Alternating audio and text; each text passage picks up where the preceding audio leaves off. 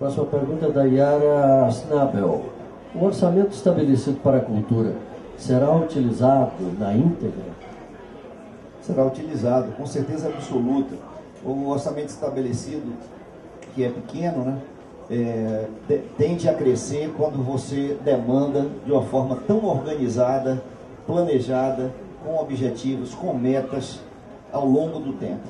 Eu acho que é uma relação direta, direta. Né? Eu, eu fui ministro do esporte e quando assumi o orçamento anterior era um, era um orçamento de, feito no governo anterior que estava se encerrando, no primeiro ano do governo Lula, era um orçamento de 86 milhões. Três anos depois, quando eu saí do Ministério, eu fiquei três anos e três meses, o orçamento do esporte era 1 bilhão e 200. Então, isso é uma relação direta. Se tiver política consequente, planejada ao longo dos anos, não pontuais e eventos, etc. Né?